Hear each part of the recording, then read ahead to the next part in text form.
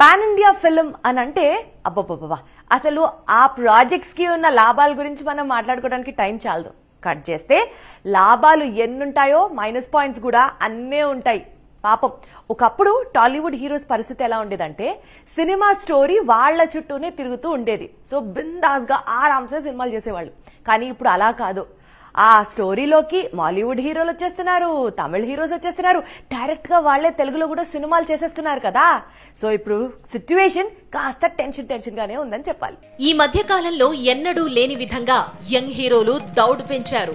ఒక్కో హీరో మూడు నాలుగు సినిమాలు చేతిలో పెట్టుకుంటున్నారు. గతంలో ఒక సినిమా తరువాత మరో సినిమాను స్టార్ట్ చేయాలనే కండిషన్ను హీరోలు పూర్తిగా పక్కన పెట్టారు. నాని విజయ్ దేవరకొండ నితిన్ శర్వానంద్ సిద్ధు జొన్నలగడ్డ ఇప్పుడు చేతి నిండా చిత్రాలతో బిజీగా ఉన్నారు. నాని స్పీడ్ చూసి దేవరకొండ దేవరకొండ స్పీడ్ చూసి నితిన్ కొత్త సినిమాలు కమిట్ కావడం లేదు. తమిళ మలయాళ హీరోల కాంపిటీషన్కు భయపడే back to back movies commit అవుతున్నారు. మాలీవుడ్ నుంచి దుల్కర్ ఫాహద్ కోలీవుడ్ నుంచి ధనుష్ తెలుగులో డైరెక్ట్గా సినిమాలు చేయడం మొదలు పెట్టారు మహానటి సీతారామం లాంటి చిత్రాల తరువాత దుల్కర్ ఇప్పుడు లక్కీ భాస్కర్ అనే మూవీ చేస్తున్నాడు. అలాగే కల్కీలోనూ కీ రోల్ చేస్తున్నాడు. సార్ సినిమా తరువాత ధనుష్ డైరెక్టర్ శేఖర్ కమ్ములతో కుబేరా మూవీ చేస్తున్నాడు. ఇక పుష్ప విలన్ ఫాహద్ కూడా త్వరలో రెండు చిత్రాలు కమిట్ అయ్యాడు. అసలు తమిళ్ ఫిల్మ్ ఇండస్ట్రీ అంటేనే సెన్సేషన్ అని మనం ఫిక్స్ అయిపోలేము ఎందుకంటే ఒక దాని తర్వాత ఒకటి. ఇందాకే ఇళయరాజా సినిమా గురించి ఎలా అయితే మాట్లాడుకున్నాను ఇప్పుడు అక్కడ టాక్ ఆఫ్ ది టౌన్ అయిన ఇంకొక టాపిక్ వచ్చేసి crazy combination of Premikudu cinema repeat కాబోతుందంట. పాతిక సంవత్సరాల తర్వాత అటు ఏఆర్ రెహమాన్ ఇటు ప్రభుదేవ చేతులు కలిపారు.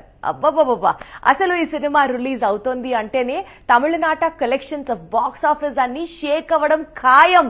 అంతేకాకుండా దేశవ్యాప్తంగా కూడా ఇదే ఫీవర్ నడుస్తుంది అన్నది అక్కడి ఎక్స్పర్ట్స్ అంచనా. ప్రేమికుడు సినిమా రీ రిలీజ్ అవుతున్న వేళ ఇప్పటికీ ప్రేమికుడు సాంగ్స్ రీల్స్లో దుమ్ము రేపుతున్న టైంలో మళ్ళీ ప్రేమికుడు కాంబినేషన్ రిపీట్ కావడం అంటే చిన్న విషయం కాదు. ఈ క్రెడిట్ అంతా కోలీవుడ్ మేకర్స్కు అందించాలి. రెహమాన్ బీట్స్కు మిగతా హీరోలు స్టెప్పులేయడం వేరు ఇండియన్ మైఖేల్ జాక్సన్ ప్రభుదేవా స్టెప్పులేయడం వేరు.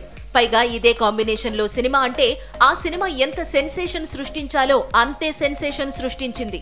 ప్రేమికుడు రిలీజ్ అయి ఇరవై ఐదేళ్ళకు పైగా గడిచినా ఇప్పటికీ క్రేజ్ తగ్గలేదు. త్వరలోనే ప్రభుదేవ హీరోగా రెహమాన్ సంగీతంలో ఒక సినిమా తెరకెక్కబోతోంది. ఇందుకు సంబంధించిన అఫీషియల్ అనౌన్స్మెంట్ కూడా వచ్చేసింది. ఫస్ట్ లుక్ పోస్టర్ సైతం రిలీజ్ అయింది. మనోజ్ ఎస్ఎస్ అనే దర్శకుడు ఈ క్రేజీ కాంబినేషన్ను సెట్ చేశాడు. కాలీవుడ్లో ఇప్పుడు Ilaiyaraaja biopic talk of the టౌన్గా మారిపోయింది. సెన్సేషన్కు అడ్డాగా మారిపోయింది.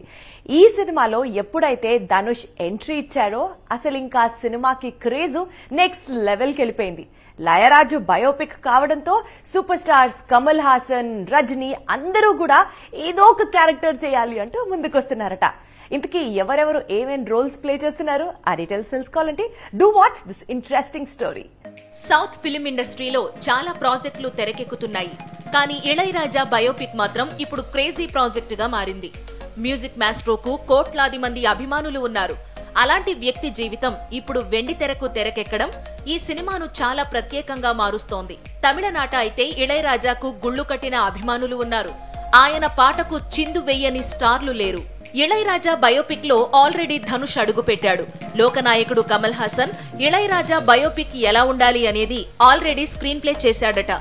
ఏ సీన్ తర్వాత ఏ సీన్ అనేది ధనుష్ అప్పగించాడట. ఇప్పుడు సూపర్ స్టార్ రజనీకాంత్ కూడా ఇళయరాజా బయోపిక్లోకి అడుగు పెడుతున్నాడని సమాచారం. రజనీకాంత్కు ఎన్నో సూపర్ డూపర్ హిట్ సాంగ్స్ ఇచ్చారు ఇళయరాజా. అందుకు సంబంధించిన సీన్స్ను ఇప్పుడు ధనుష్ రీక్రియేట్ చేయబోతున్నాడట. అదే నిజమైతే ఒకప్పటి మామ అల్లుళ్ళు మొదటిసారి తెరను పంచుకున్నట్లవుతుంది. యూజువల్గా హీరోయిన్స్ విషయంలో ఐదర్ మ్యారేజ్కు రెడీ అయిపోతారు లేకపోతే నెక్స్ట్ లెవెల్ వెళ్ళి సినిమాలు ప్రొడ్యూస్ చేస్తూ ఉంటారు. ఎక్కడో అక్కడక్కడ కొంతమంది మెగాఫోన్ పట్టుకొని డైరెక్షన్ చేయడానికి ఇంట్రెస్ట్ చూపిస్తూ ఉంటారు. అందులో సెట్ అయింది బాగా. సక్సెస్ అయి చూపించిన వారిలో కంగనా రనౌత్ ఒకరు. ఇప్పుడు అదే దారిలో వెళ్ళడానికి రెడీ అవుతోంది హీరోయిన్ సాయి పల్లవి. ఇంతకీ హీరో ఎవరై ఉంటారంటారు? సాయి పల్లవి. ఈ పేరులోనే ఏదో వైబ్రేషన్ ఉంది అంటారు ఆమె ఫ్యాన్స్. సౌత్లో మరీ ముఖ్యంగా టాలీవుడ్లో సాయి పల్లవికి ఉన్న క్రేజ్ అంత ఇంత కాదు. డాన్స్ అయినా పర్ఫార్మెన్స్ అయినా పల్లవి చాలా తక్కువ కాలంలో ఎక్కువ అభిమానులను సంపాదించుకుంది.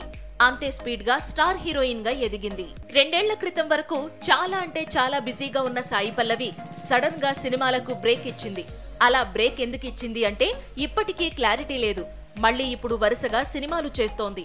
టాలీవుడ్లో తండేల్ కోలీవుడ్లో ఒకటి బాలీవుడ్లో మరొకటి కమిట్ అయింది సినిమాలకు బ్రేక్ ఇచ్చిన టైంలో సాయి పల్లవి ఒక కథ రెడీ చేసుకుందని ఆ కథను భవిష్యత్తులో తానే సొంతంగా డైరెక్ట్ చేయనుంది అనేది టాక్.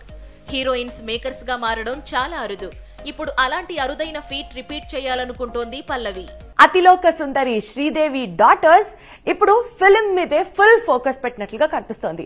అటు జాహ్నవి కపూర్ ఏమో టాలీవుడ్ మీద ఫోకస్ పెడుతూ ఉండగా ఇదే టైంలో బాలీవుడ్కి ఎంట్రీ ఇద్దామని అనుకుంటోంది ఖుషి కపూర్.